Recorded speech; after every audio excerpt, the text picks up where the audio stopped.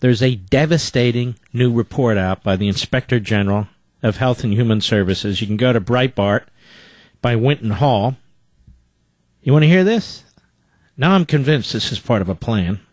The Inspector General released a report today. It reveals that the Obama administration has yet to determine whether about 1.3 million of the over 8 million Obamacare enrollees are U.S. citizens lawfully in the country.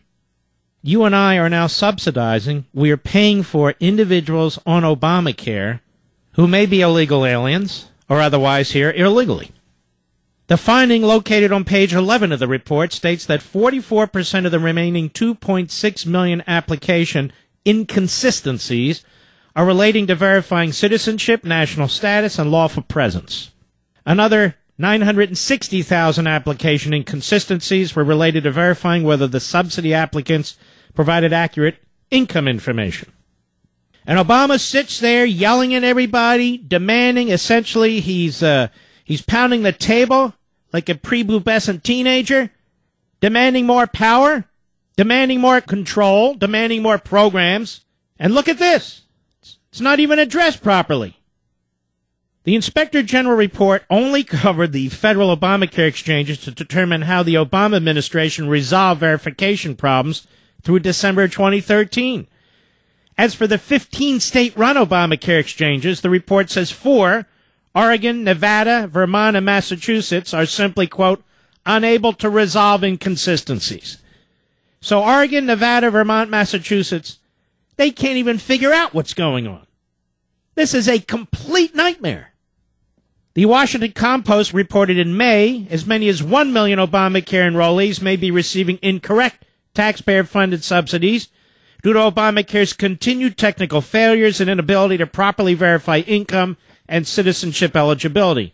One year ago, conservatives warned the Obama administration's decision to use the so-called honor system for income eligibility was merely a backdoor way to get as many individuals on the public dole as possible.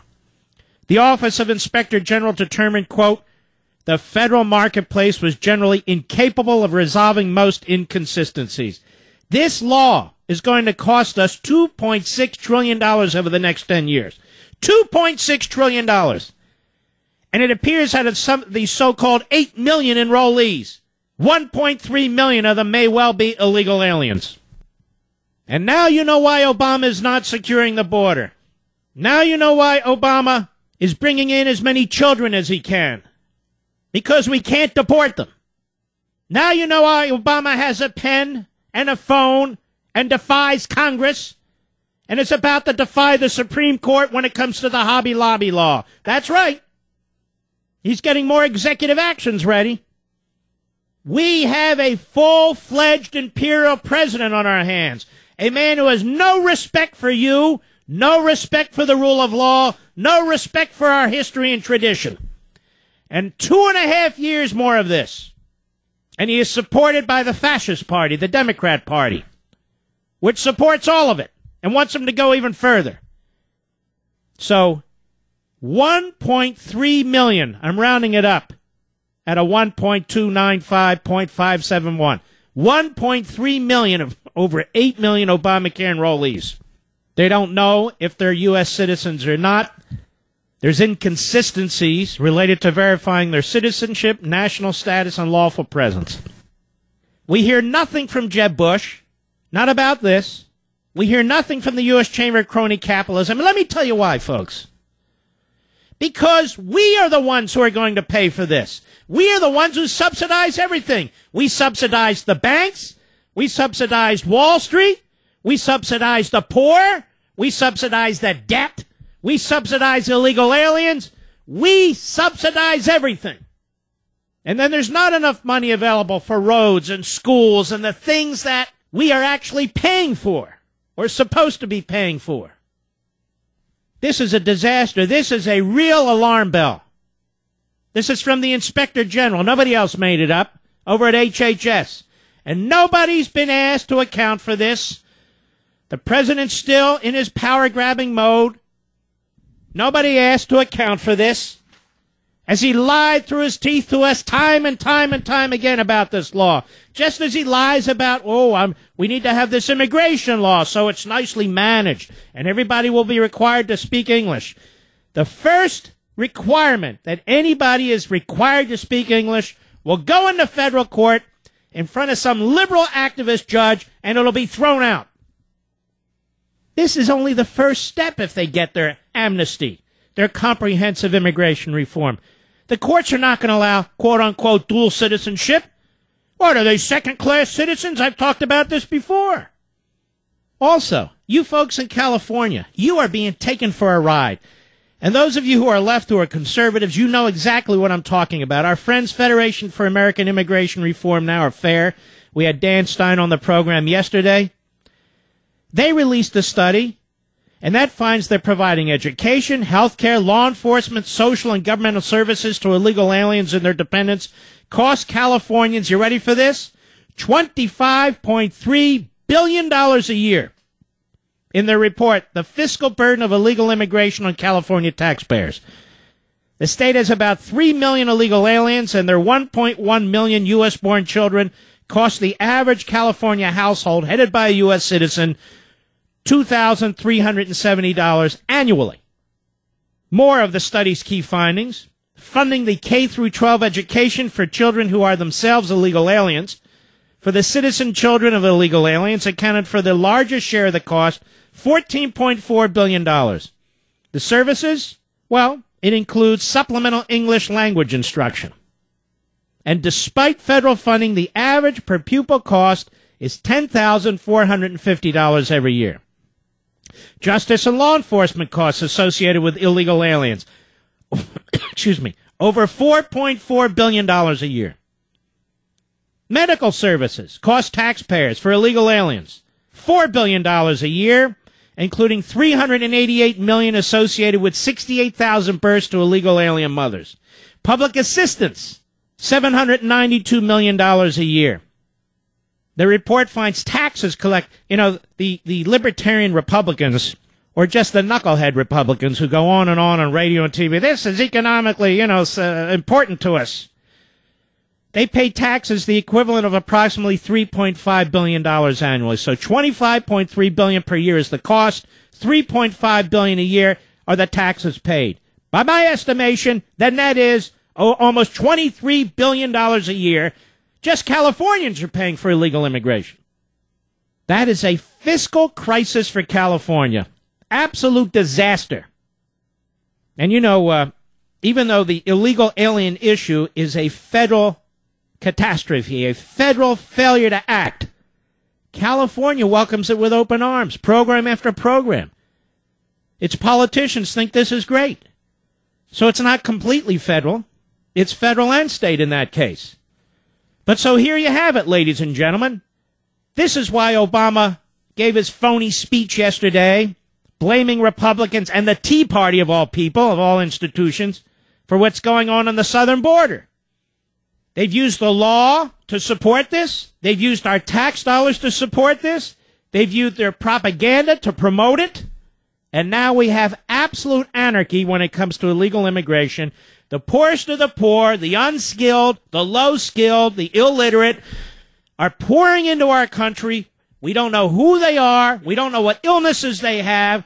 Slipping in, no doubt in my mind, are criminals, possibly terrorists, seeing a weak underbelly in this country. And we still have people. People in office, people on TV, people on radio, special interest ethnic front groups still demanding amnesty. They don't call it amnesty. But if you do not secure the border, anything after that is amnesty. Because you and I both know it just is an endless parade of foreigners coming into this country. It's a disaster. It's an economic disaster. It's a health disaster. It's a law enforcement disaster. And it's a national security disaster. Both parties are responsible. Even so called conservatives who promote this stuff, they're responsible. The idea that this is an economic boon to the country is, is absurd. Absolutely absurd. And here we have Obamacare. Eight million people have theoretically anyway signed up, and approximately 1.3 million are likely illegal aliens. Congratulations to us. History, you know, everybody, oh, the Supreme Court. Thank God for the Supreme Court. I even heard somebody on Fox today say this is the way the system was set up, you know, to have sober minds on the court where the temperature's lower, where, where a handful of people could pass judgment on what's going on. That's not the way it was set up, actually. Three co equal branches. Going back about 30, 35 years, ladies and gentlemen, the states were trying to fight illegal immigration. Many, if not most, of the states prevented illegal aliens from even going to public schools. You see, it wasn't an honor to be an illegal alien. You were considered illegal. And so you weren't supposed to be receiving any subsidies, any support. You were discouraged from coming here and staying here. And yes, that phrase, self deportation, oh, you can't use that. Well, that was the goal. That was the purpose. Now, all that said, 1982, in a case called Plyler, the Supreme Court ruled, as I recall, William Brennan, one of the most radical, outrageous justices in American history, he ruled that illegal aliens had a right to public education, even though the states didn't want illegal aliens to have public education. And then you had congressional action and court action as time went on, providing illegal aliens with emergency health care services. And it went on and on. Most recently, just a few years ago, the Supreme Court ruled against Arizona and for a number of countries from Central and South America, as well as the Obama administration, that Arizona did not have the power to enforce federal law to secure its own borders and protect its own citizens. So the Supreme Court has had a very dirty hand in this business over the years. And as a result, the legal framework, or lack of one, was set by our judicial system. And so, of course, it takes a president who is exercising his inner Mussolini as an imperial president, a petulant man, a man in a hurry, a man who does not love his country because he seeks to fundamentally transform it. And as I've said before, if you want to fundamentally transform something, you don't love it. In fact, he despises so many aspects of it. That's his career. That's his ideology. So he takes advantage of it. So Arizona was the last domino to fall when the governor and the state legislature said, basically merely said, look, the federal government won't enforce federal law, we'll enforce federal law. We won't change it, we won't enhance it, we'll just enforce it. And the court said, no, the president has discretion to determine how to enforce federal immigration law. And of course, Obama took that to mean, I won't enforce it. In fact, I'll rewrite it. Knowing full well that any challenge at this point would be pointless and if there was a legal challenge, it would go back to the same justices, and it would take four or five years to get there. So a president who seeks to usurp power, who seeks to change the, the uh, nature of the citizenry, who seeks to have open borders, can get away with an awful lot. And the stars have lined up this way. Because you have a Senate that has destroyed itself under Harry Reid, that has as its purpose to advance Obama's agenda and not protect its own prerogatives. You have a House of Representatives that is so beholden to the corporatists that you've got members in the House of Representatives who rely on campaign funding from the U.S. Chamber of, Com- of uh, Commerce and whose staffers are lobbyists after they leave the Hill. And so we, the people, we do not support this. We do not want this. And it apparently doesn't matter. Ob- uh, Bush has brought it up and pushed it. McCain ran on it and pushed it. Obama pushes it. Boehner wants to push it. McConnell wants to push it.